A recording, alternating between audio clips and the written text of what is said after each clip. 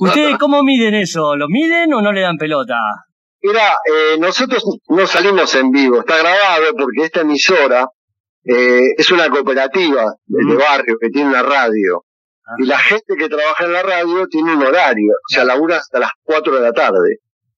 Y el programa sale a la noche, los lunes. Entonces, yo lo grabo, e, e, es distinto, o sea, no es, no es en directo, no es en vivo. Con lo cual, el, el ida y vuelta es por mensajito o por este por mail. No tengo otra, no hay otra forma de comunicarse con el público porque está grabado, ¿viste? No, no, no, no hay forma. No hay forma. Salíamos en vivo las dos primeras temporadas, porque la otra emisora sí era una emisora de 24 horas, pero aquí no, porque bueno, aquí es otro tipo de empresa que por suerte nos da el espacio con absoluta, absoluta libertad, podemos decir lo que nosotros consideremos que necesitamos decir, pero el horario nuestro está acotado, con lo cual este, tenemos que grabar, así que no hay feedback con el público, al menos en directo, ¿no? Bueno, Carlos, decime cuál es el, área donde te, le dedicas más horas, porque uno por ahí hace radio, eh, también pinta cuadro, en, esto, en estos tiempos también, porque sabemos que es cíclica la historia. ¿En estos tiempos te está, está más pintando que haciendo radio, escribiendo más que pintando? Mira, en realidad te digo, estoy laburando más ahora que antes, porque ahora mis, digamos, cosas que uno podía hacer extramuros ya no las hago, digamos, estamos eh, acotados por el entorno, no se puede salir, esa es la realidad, digamos. Y armar una rutina de laburo es interesantísimo, porque este, aparte del programa de radio, aparte de los, de, la, de las pinturas que hago, también participo en el programa de uno de los columnistas, uno de los columnistas de, la cultura del payaso, que es Maximiliano Curcio, a su vez es director de una revista que se llama Siete Artes, una revista de cultura, y él me ha invitado cordialmente hace ya un tiempo a participar en columnas dentro de la revista. O sea que compartimos, viste, entre todos, cada uno colabora en el proyecto de otro. Con lo cual, estoy todo el día laburando para los proyectos. Esa es la realidad. Es igual que los músicos, viste que todos son todos tocan en todas las bandas, ¿sí?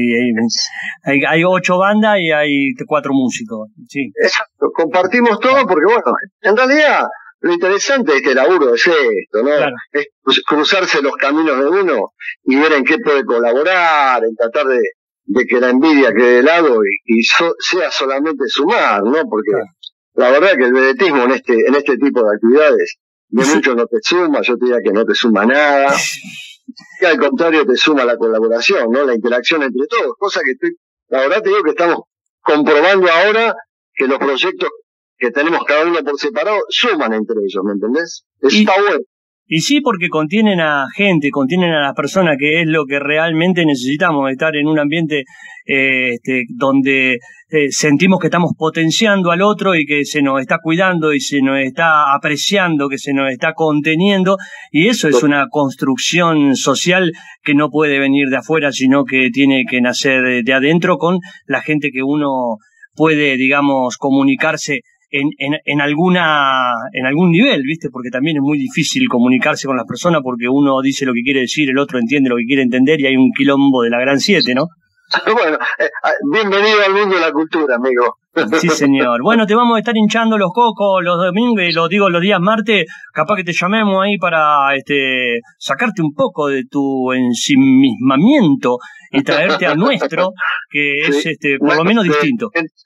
sabemos de qué se trata, este, eh, no hay inconveniente. Vos sabés que la cultura del payaso, que es nuestro programa, está abierto a toda la gente que quiere colaborar, quiere hablar, quiere expresarse, podemos compartir, podemos cambiar ideas, de eso se trata. De una. Eh, son siempre bienvenidos los, las conversaciones, los intercambios culturales, está bueno, está bueno porque suman, en definitiva eso. Repetinos, repetinos cómo hacemos para, cómo hace la gente para escuchar la cultura del payaso y nosotros también vamos a estar ahí viendo cómo este, también queremos escucharlo para ver qué podemos chorear de ahí y este bueno y traer usarlo para también para nuestras producciones pero también tenerte en vivo también puede ser muy interesante. Si te ocurre alguna columna está invitado. algo vamos a hacer entre todos va a salir, algo algo va a salir de todo esto. sí señor. Básicamente la cultura del payaso sale los lunes de 20 a 21 horas se repite los viernes de 23 a 24 horas y nos pueden sintonizar en la www.ntbradio.com.ar. Bien ahí, clarito. Radio.com.ar. Bien, Carlos, muchísimas gracias por atender el fono. Gracias, el agradecido soy yo y hasta cualquier momento. ¿eh? Nos vemos. Un abrazo. Ahí estamos con Carlos Avalle, productor de radio independiente de Tortuguita.